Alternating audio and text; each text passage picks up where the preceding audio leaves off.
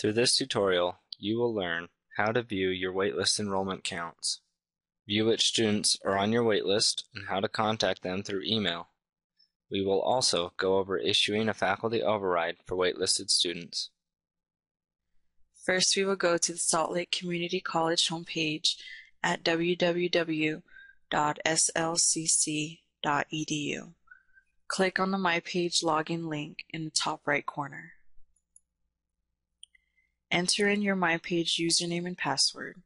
If you have not set one up or have forgotten your username and password, you may go through the links below to set that up. For assistance, you may use the tutorial below to help create your username and password. Once you have your username and password, you may enter it in and click Login.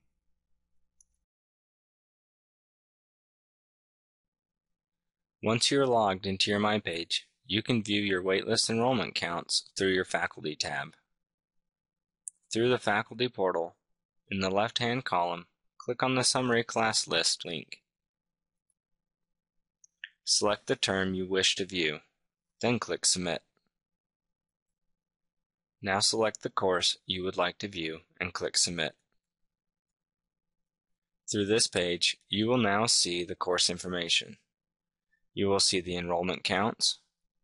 You will see the maximum seats allowed, the number of students enrolled in your course, and the number of seats available. If your course has a waitlist, you will be able to see the maximum spots allowed, the spots taken, and the spots available. To view and access student information on the waitlisted students, simply click on Waitlist. Through the Summary Faculty Waitlist screen, you will be able to view student name and SID, as well as the student's waitlist order. If you notice the word confidential below the student's name, this means the student has requested their information to be restricted. Do not release any information on this student to anyone without written authorization from the student. To access a waitlisted student's email, you will simply click on the email icon to the far right of the summary wait list.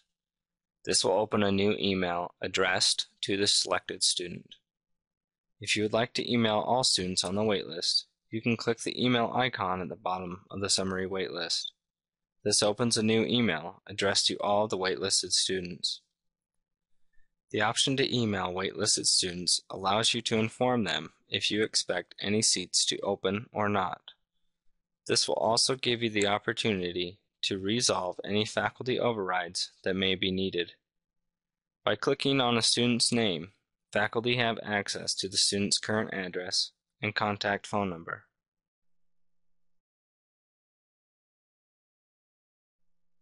The waitlist option is available to students registering for a course section filled to capacity. Classes will be set up with 10 waitlist spots. The waitlist will be open through the seven-day add period. Students registering for a closed class will be offered the opportunity to be put on a waitlist. Students may view waitlist status on the MyPage student portal.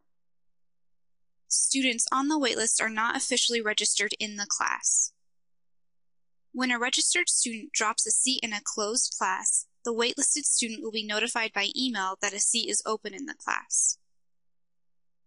Once notified by email that a seat is available, the waitlisted student has 24 hours to register for the course. If registration is not finalized within the 24-hour period, the student is dropped from the waitlist. The next waitlisted student is notified by email that a seat is available.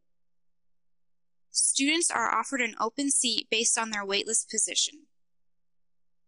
Waitlisted students not meeting required prerequisites or with time conflicts may not register for the class.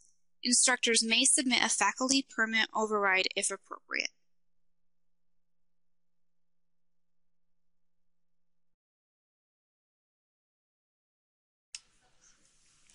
The waitlist function will continue through the seven-day add period. As registered students drop from the closed class, the waitlisted students will be notified by email that seats are available. Division and department chairs expect faculty to allow the waitlist process to operate as intended. rather than adding students by submitting a faculty permit. The waitlist provides an instrument that allows students to register in an equitable registration process.